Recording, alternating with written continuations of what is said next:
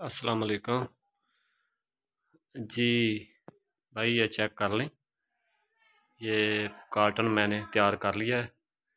ये ऊपर मेरा नाम और मोबाइल नंबर और इधर उमैर भाई रावलपिंडी और उनका मोबाइल नंबर और इसमें मैंने फ़ीमेल डाल दी है।